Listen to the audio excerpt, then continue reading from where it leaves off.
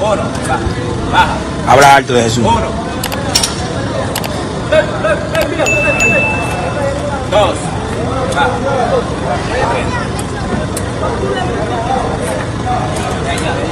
Jesús. Tres. Cuatro. Cinco. Seis. Siete. Ocho. Nueve. Diez. Once. Doce. Trece. La niña con cuidado. 14 15 Venga, toma, toma. Mándame. 16 Avancen, avancen.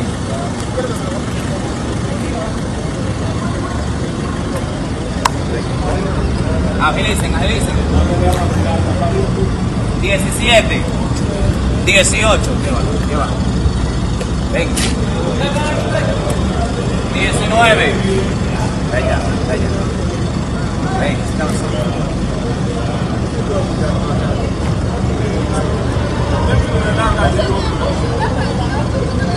20.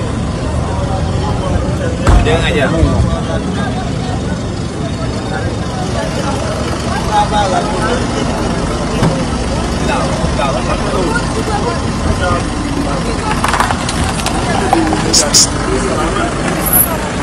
Veintiuno. Veintidós.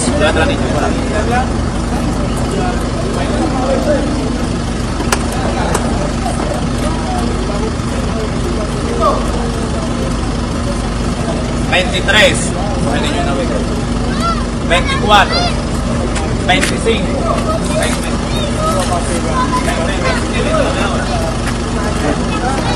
26, 27, 28, 29, 30, 31, 32. La busco ahora, sí, ahora, amigo.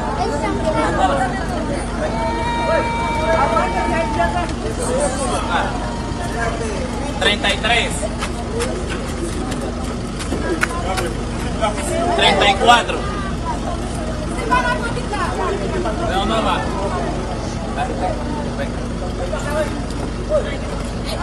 35, 36, 37, y seis, treinta y siete, vete. treinta y ocho, vete.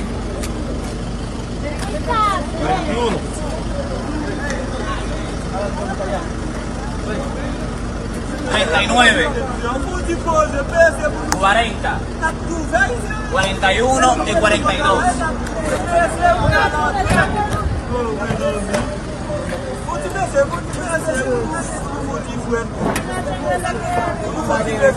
Cuidado en medio, cuidado en medio. 43, 44, toma. 45, 46. Mire, cuántas veces abordamos el tema crisis haitiana, estamos hablando de una crisis sociopolítica, económica, de insalubridad, que ha provocado consigo que miles de haitianos deciden ingresar hacia la República Dominicana y sobre todo en gran medida en función de lo que ha implicado el derrotero institucional histórico que tiene nuestro país. Y acá hemos sido bastante claros. No somos promotores de un nacionalismo autoritario, no creo en eso. De igual manera, no somos promotores del odio, no creo en eso. Lo que sí somos promotores de que se aplique la ley. La ley cuando se aplica no es que se hable de odio, de un comportamiento para caer en la intransigencia.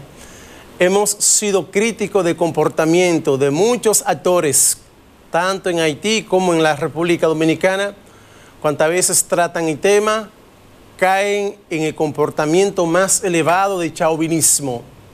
Y cuando hablo de chauvinismo, hago mención de una importante figura de la Guardia Napoleónica, Nicolás Chauvin, que ese sí tenía un nacionalismo muy intransigente, un nacionalismo enfermo. Por eso la cita del mismo. Y de igual manera, hemos sido claros que nos identificamos con el contenido de una importante carta que le envió Juan Bosch a tres importantes intelectuales en plena época de la dictadura de Trujillo. Estamos hablando que Juan Bosch en 1943 le envió una carta. Recordar, Bosch se encontraba en el exilio, se encontraba en La Habana, Cuba, y le envía una carta a sus tres amigos intelectuales al servicio de la dictadura. Estamos hablando de Rodríguez de Morichi, Héctor Inchausti y la figura central acá y más cercana a Juan Bosch, Ramón Marrero Aristi, que por cierto, Aristi, por eso era contradictorio y chocante para Bosch, había escrito una importante obra, Over, que era una crítica ácida a cómo se trataban a los trabajadores en los centrales azucareros de la República Dominicana. Una crítica ácida a la violación hacia los derechos humanos.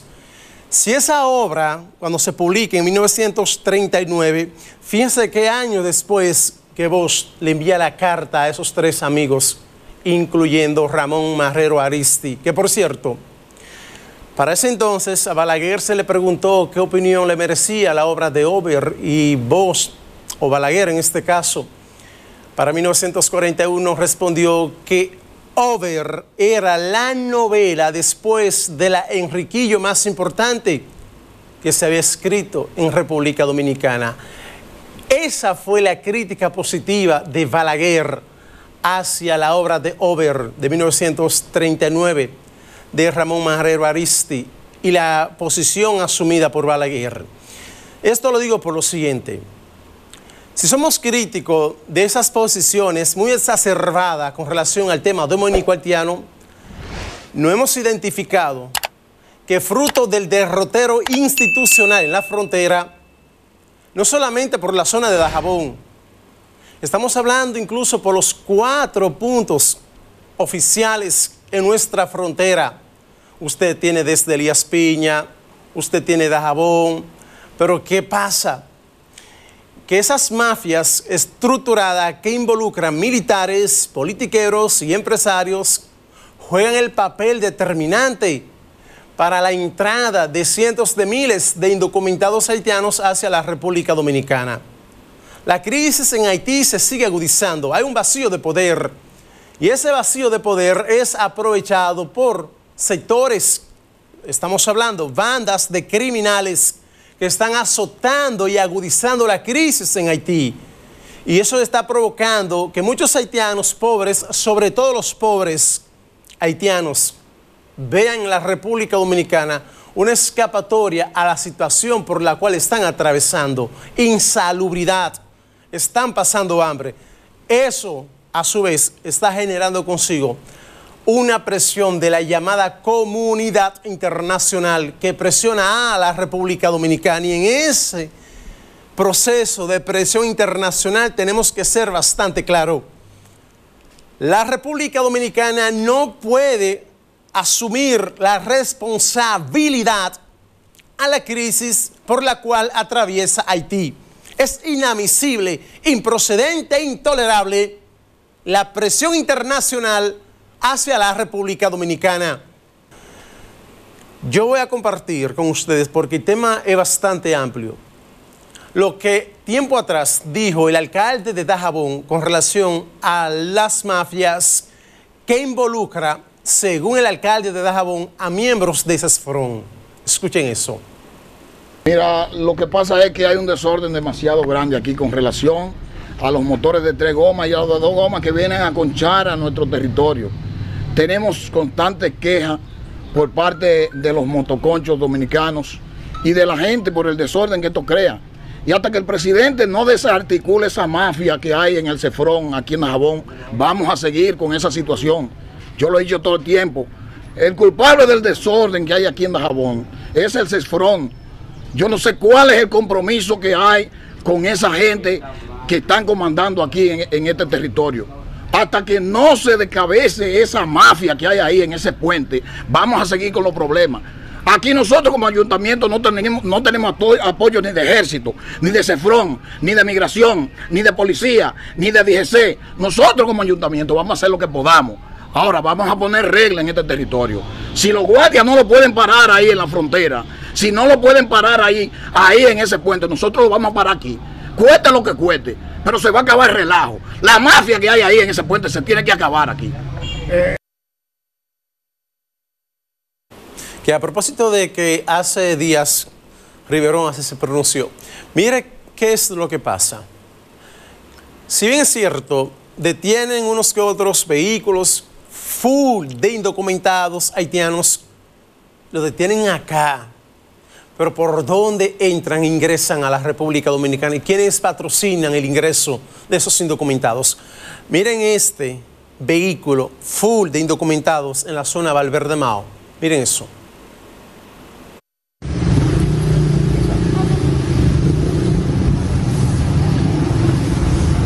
Uno,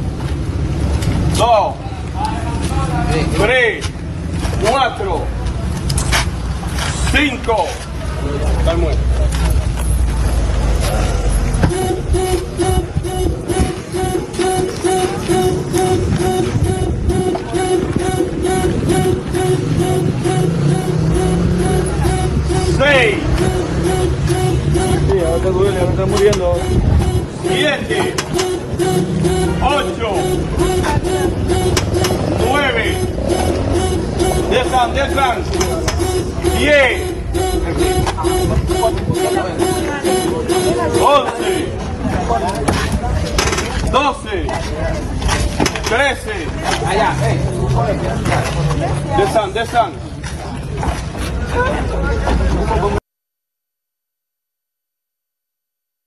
Se van a preguntar, esa cantidad de haitianos indocumentados en esa jipeta. Full. Full la jipeta. Son criminales. Esos dominicanos. Esas mafias que provocan y generan consigo a su vez situaciones bastante tensas. Ahora esto ocurrió en la zona sur del país, en Asua. Miren este minibús. Edo empieza a sacar a los nacionales haitianos. Aquí tenemos una persona detenida de nacionalidad dominicana. Intentó aquí en el puesto de chequeo 15 de Asua, Ejército de República Dominicana, y se nos envía contraria.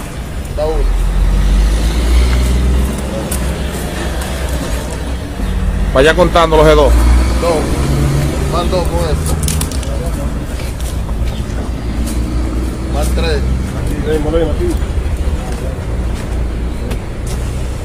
Van cuatro. Van cinco. Van seis. 6. Siete. Ocho. Seis turnos acá.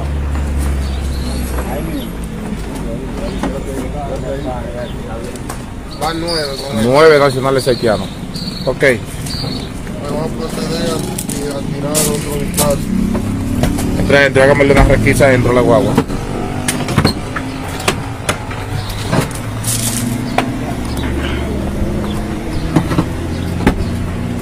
Páreme el conductor aquí, venga. Póngamelo ahí al conductor. ¿De dónde es usted, conductor? ¿De dónde? De la capital. Tenemos que darle las gracias a Rafael Gil por estos videos. Vieron ustedes. Ahora, vamos a ver lo que ocurrió en las matas de Santa Cruz. De igual manera, miren eso.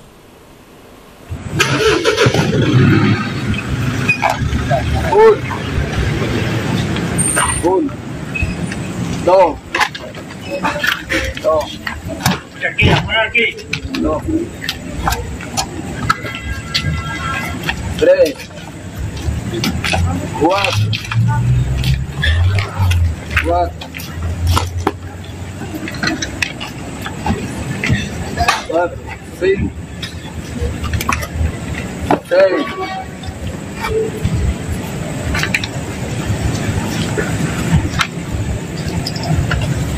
sete, oito.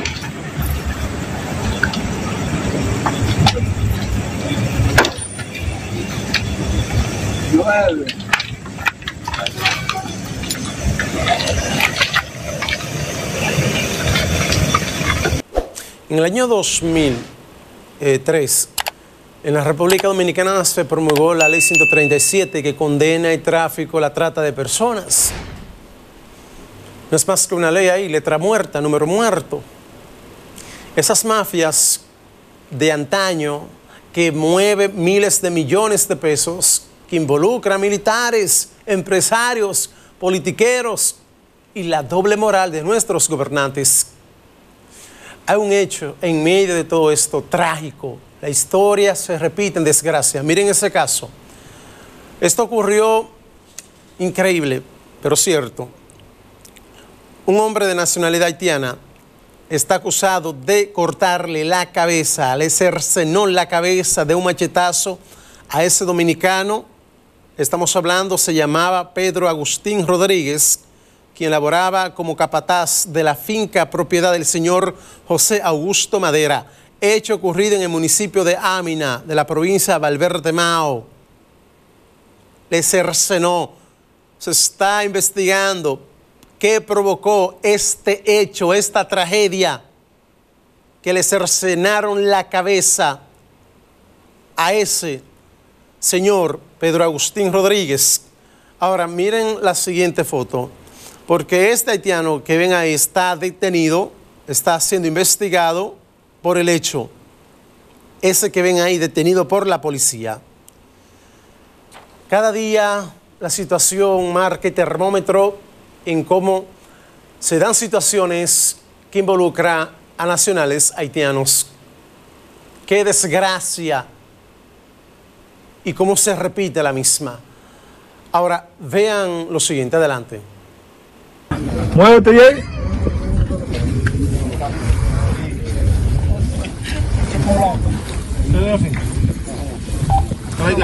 ¿Quién es el dueño del propietario de la finca? Aquí atrás. Augusto.